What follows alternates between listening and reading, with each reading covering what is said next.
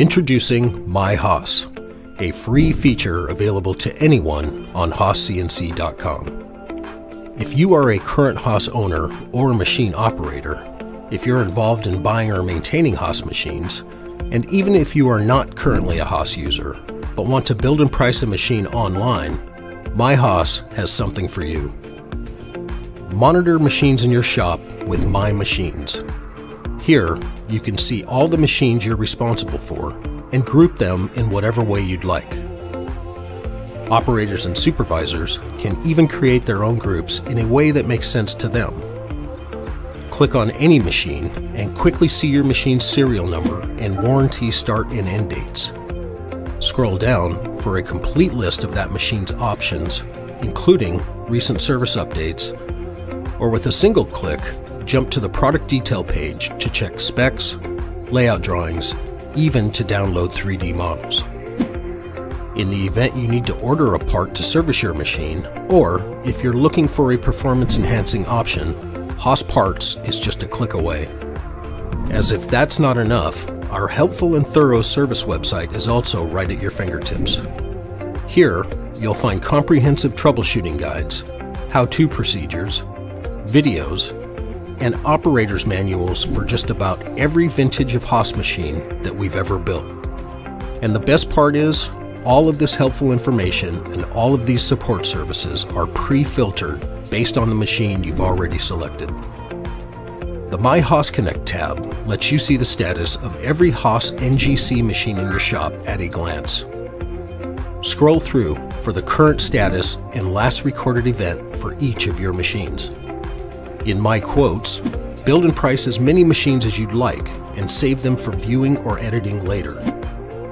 This makes it easy to compare machines and find the one that's right for you. From there, you can send the build and price to a coworker or friend or anyone who might be involved in the buying decision. And when you're ready, send it to your local Haas factory outlet when it's time to move forward. My Haas allows you to be more efficient and manage your shop and your machines like never before. And best of all, it's completely free.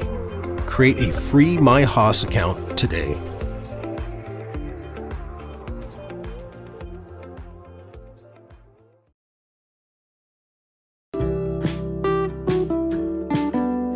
You know, it doesn't take much effort to install the Haas robot package on your mill. You literally roll the robot right out of the shipping crate. All you need is a tape measure and a simple bubble level to align it. The cables that link it to your control are all clearly marked and ready to plug in. Your service tech will drill a couple of holes and move some shelving to get the enclosure ready to accommodate this huge leap forward in automation. And that's the mechanical part. But what about integration? Well, the Haas control is already set up for the robot, so your service tech will have the integration done in well under an hour. And that's it. It only takes about a day to get your versatile, efficient robot package installed and ready to start making you money. If you're ready to take a step into automating your production, the affordable, versatile, and easy to install Haas robot package could easily be what you're looking for.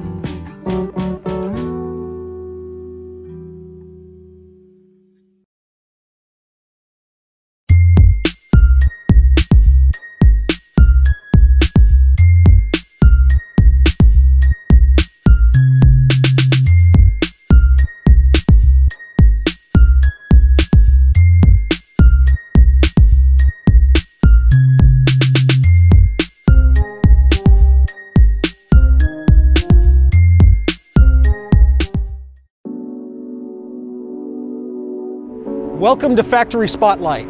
We're in front of Haas Automation in Oxnard, California today, and today we're going to give you a tour of the demo room. I'm Brian, he's Andrew, and Andrew, let's head through these doors and take a look. All right, let's head through the front doors here, and we're gonna head off to the right towards the demo room. Uh, as you can see, we got several trophy cases from all the different various uh, race car wins we've got. Uh, driver's suits, helmets, memorabilia, of course. But here we go into the demo room. You can see the sign there. And uh, you're gonna start us off, right, Brian? I'm gonna get rolling. The first thing as you walk through the doors, you can't help but notice a car. So why do we have a race car in the demo room? Well, this is the car driven by Kurt Busch in March of 2014, and it was his first win as a member of Stewart Haas Racing. And as you can probably see, this car is in the exact same condition as it was when it came out of Victory Lane. It's covered in, I don't know, beer, champagne, Gatorade, you name it. Pretty cool accomplishment, and we haven't even touched it. We literally rolled it right in here. Right behind me, this is kind of the star of the show.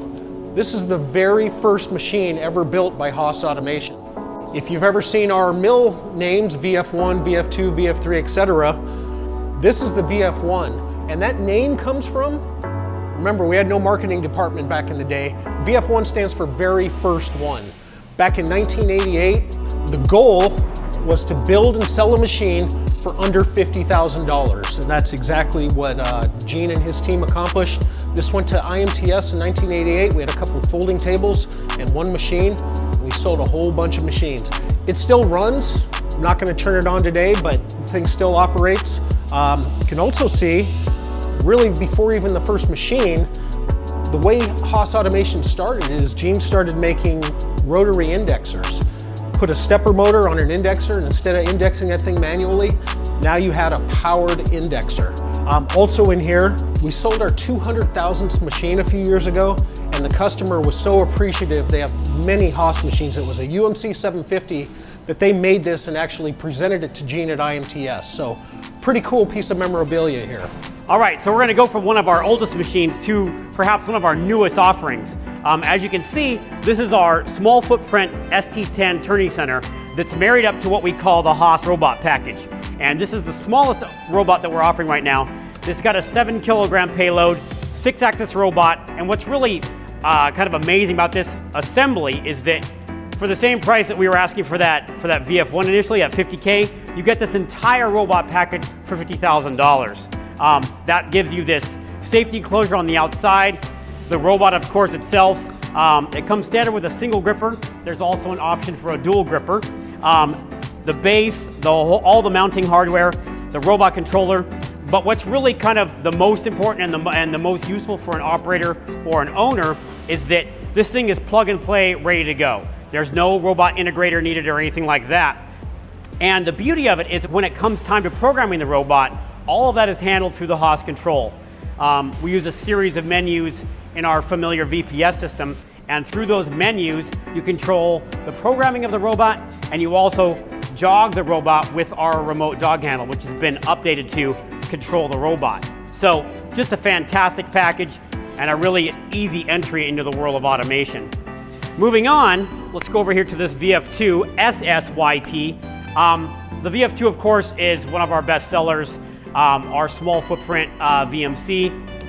Um, but this is the Super Speed Y variation. Super Speed, of course, gives you faster rapids and cutting speeds, 14, 1400 inch per minute rapids, um, 12K spindle, uh, 30 pocket Super Speed tool changer. And then in this case, the Y option gives you additional Y-axis travel for a deeper work envelope this way. All right, that pretty much wraps it up here for the VF2 SSYT. Let's throw it over to Brian.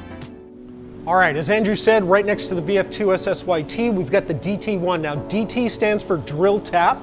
This is a super fast little machine, 2400 inch per minute rapids, tool change in under a second, um, but it's got great milling capability too. It's got a 15 horsepower spindle. Speaking of spindles, 10,000 RPM is standard. You've got 12, 15, and 20K optional. So if you're drilling a lot of small holes and you want that high RPM, you can get it with this machine. Now on the table here, we've got a real fast two axis rotary. This is what we call our TRT 100. So DT1 with the TRT 100, you have full simultaneous five axis or just three plus two capability. Now we're gonna move from the DT1 just to the right here to the UMC 500 SS. So this happens to be an SS, a super speed, but we have the non-SS as well. This is the smallest of the UMC family. So this is the UMC 500. We also have the UMC 750, and then the big boy is the UMC 1000. Now the nice thing, the great thing about the UMC 500 is its size. It's a compact footprint, similar in size to a VF2. So if you have a small shop, but you're wanting five axis capability, this machine will fit in your shop. And the cool thing about it, as you can see here with this low door, is you have great access. So if you're loading and unloading parts, it's easy in this machine. Now, as we come around to the side, we've got a big side window here and the reason this is designed in is we'll have the ability to add either an APL, an auto parts loader, or even a pallet pool to this machine. So lots of capabilities with all our UMCs. Now we're gonna move just to my left, and Andrew's on the VF3YT50. As Brian was saying, VF3YT. Now what's special about this machine, it's of course our, our medium footprint VMC. But in here you see kind of the star of the show here, 50 taper spindle. If you're doing lots of hogging, but you want to do that in a space that doesn't uh, take as much as one of our really big ones like a, a VF8 or a VF10 or something. If you don't need quite that much table space to travel, then this fits the bill. Um, 50 taper spindle, 30 pocket, 50 taper tool changer. Really, if you're getting to do some hogging, but you need to do it in a, in a, in a smaller space, this is the machine for you. Moving on, let's go over to, let's go to this one here. So this is our new long bed ST30. Uh, ST30 L LY, Y-axis uh, lathe in this case. And of course, you're gonna buy this machine because you need to machine, you need to turn long parts, or maybe you need to turn intermediate length parts. And maybe you wanna do that with, uh, maybe you wanna do that with our steady rest. So you're kind of in uh, one of two situations here. Either you're gonna run a really long part in which you're going to support it by the tailstock, or maybe you've got an intermediate length part that you're going to support with your steady rest for doing deep hole drilling and end work on that shaft. Very easy to move the steady rest back and forth. But another cool thing is, let's say I've got this little part in here. Now, if I've got a part like this, this experience is pretty much just like running a regular ST30. If I'm running a short, uh, a short part, this is gonna be the same as when I'm running an ST30, so that's really nice. Um, another cool feature about this machine is you can see this this hole here, if you will. This is what we call the extended Z pocket. And this gives you a lot of clearance for, uh, for boring bars and other really long tools so you can still get all the way up here to turn on the face of your part and you're not gonna, you're not gonna hit those tools against the bulkhead here. So ST30 long bed, great machine. Let's move on over here to this, uh, to the APL. Now this is another example of how to put automation to work in your shop for a really reasonable price. Um, here we're marrying uh, our automatic parts loader up to the ST15Y. So you've got Y-axis capability on this small footprint lathe, and then you're gonna auto feed those parts, auto load those parts here from this table using this arm. And kind of like the robot allows you to, in fact, our programming process is very similar to how it works on the robot. It really started with the APLs. All of that is controlled from within the, the Haas control here. So you use a, a, series of VPS templates. It just walks you through. I've got these, these GIFs on screen here um, to show you what you need to do. And then to jog the machine, you're gonna use the remote, the remote jog handle, in this case, our new touchscreen one. Um, so it's very easy to move the uh, APL arm into the position that you want to program, turn on APL mode, and the thing works automatically. If you don't need it to, do, to work in that mode, you just turn that off and use it like a regular lathe pretty straightforward. Let's throw it back to uh, Brian. All right, now we're at the CM1. CM stands for compact mill, and you can see why. Small little machine. Um, this is an ISO 20 spindle, 30,000 RPM standard with a 50,000 RPM optional. So obviously when you have small tools, you need that higher RPM. This machine has it automatic tool changer. And this is primarily medical, dental, aerospace, somebody doing some prototyping. Great little machine. Obviously it'll fit in a small space. And the cool thing about this is this can run on single phase power. So if you're thinking about putting this in a medical or a dental office, you don't need three phase power. Okay, right next to the CM1, we've got the mill version of the APL. So the same great programming method that Andrew talked about. Everything's programmed through the Haas control using VPS templates, the remote jog handle. Little different configuration. We've got the two grippers, one for loading and one for unloading. Um, same great programming features. And we've also got an air vice provision in here. So obviously when you're running unattended, you're not gonna be opening and closing the doors. Auto door, air vice, complete unattended operation. We're gonna move to my left, toss it back to Andrew, and he's gonna talk about the TM1. Alrighty, TM1P. Now, the TM1 and the TL1 are machines that are equally at home in a production environment or maybe more in a, in a school environment or kind of a inside your garage kind of environment. Really what these machines are about is introducing uh, CNC machines to someone who's coming from a manual machine background. Um, if we see here, This has got the table and the layout very similar to an email, uh, Bridgeport style machine. Um, but this is a true full CNC machine. Um, in this case, this is the, the TM1P is kind of a the slightly uh, the slightly improved version of the TM1. TM1 comes at about $31,000. This is $35,000, and for that extra four grand, you get a lot of bang for the buck. You've got a 10 a 10 pocket tool changer, a faster 6,000 RPM spindle. It's really this kind of takes it from uh, a more manually oriented kind of experience to really a full production CNC machine. Um, this is just a step away from our VF2 style of VMCs. All right, let's move over to the TL1. Um, this is kind of the same concept here. If you're coming from a manually controlled lathe, then this layout's gonna be very familiar. Chuck's right here, steady rest, cross slide. Um, the basic version of this, of this machine comes with a single tool post here. Um, but in this case, we've got a, several options of this machine. We've got the e-hand wheels is what we call them. This is kind of a, a manual method for, for jogging these axes around. You can see here, I can, I can jog these um, very much how you would on a manual machine, but you can also run this in full CNC mode. And that's the beauty of it. If you want to approach it from a manual perspective, that's easy. And also, when you're ready to move on to, to controlling it via CNC, that works, it works great that way as well. And you've got the same style of VPS templates here. I can do a whole bunch of different kinds of features here. All I have to do is enter the important aspects of my part geometry into one of these templates here, and the uh, VPS templates will output a complete program, and I can run that. No need to know G-code to start with. So, TM1, TL1, both aimed at getting a manual machine operator used to using a CNC. Let's throw back to, to Brian here on the CL1. Okay, I'm at the CL1. I talked about the CM1 earlier, the compact mill. CL1 stands for compact lathe. And again, you can see why this machine also can run on single phase power, so that's important if you're running in a small shop or a garage or if you're a beginner. Um, but this machine has a lot of fully production features. So let's come under the hood here. First of all, this machine comes standard with an eight station turret.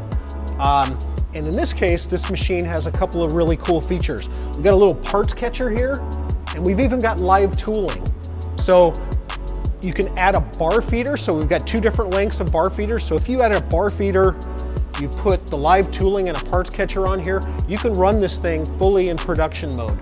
Of course, you can also run it as a chucker lathe and make small parts. Okay, let's go right next door here. And this is what we call the desktop mill open this guy up here. So this is a fully functional CNC mill. And the great thing about it is, even though it's limited on travels, it's not really a metal cutting machine. It's designed for wood, machinable wax, things of that nature, plastic maybe.